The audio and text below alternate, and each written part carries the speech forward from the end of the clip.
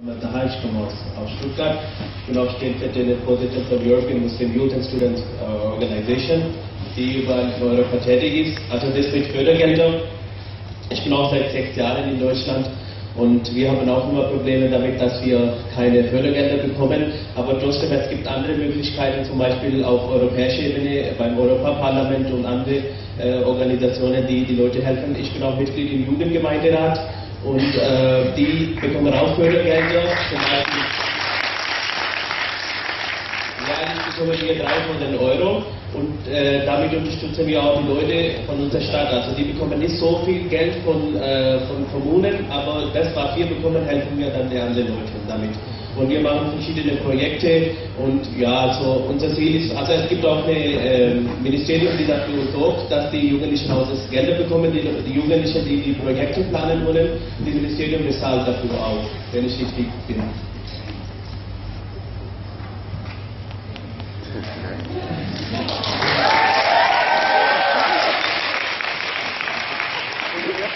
Ich bin geschockt und gerührt zugleich, zum ersten Mal im Leben als alter weißer Mann.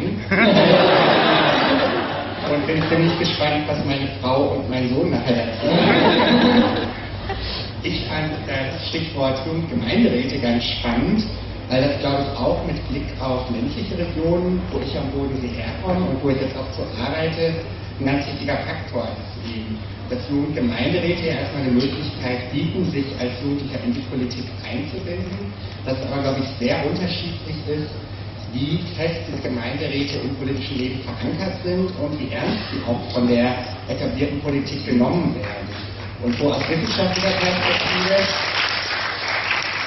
glaube ich, eine große Herausforderung ist, die auch von vielen jungen Menschen gesehen wird, dass eben der demografische Wandel, die Alterung vieler Städte und Gemeinden einen gewissen Teufelskreis darstellen kann. Dass wenn junge Menschen immer weniger werden im Verhältnis zur älteren Bevölkerung, natürlich die ältere Bevölkerung auch sehr stark das öffentliche Leben an den Orten, auch das politische Leben prägen kann. Sei es als Wähler oder sei es als Personen, die sich in den Vereinen und Organisationen etablieren.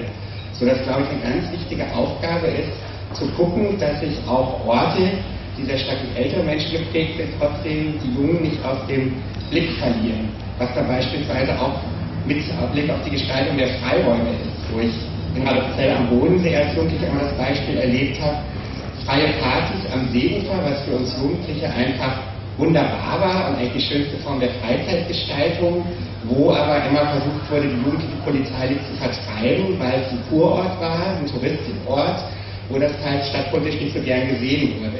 Von daher glaube ich, ist es wirklich ein spannendes Thema, wie sich junge Menschen in Orten und Regionen artikulieren, wo sie mehr und mehr zu einer kleinen Gruppe in der Gesellschaft werden.